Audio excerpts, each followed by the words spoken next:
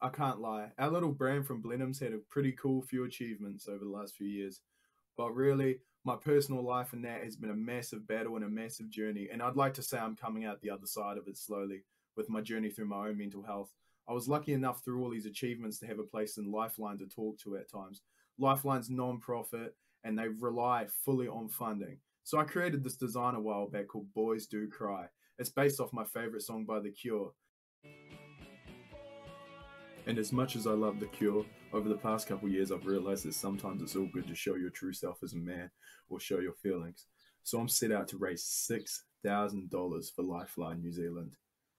Do you think we can do it?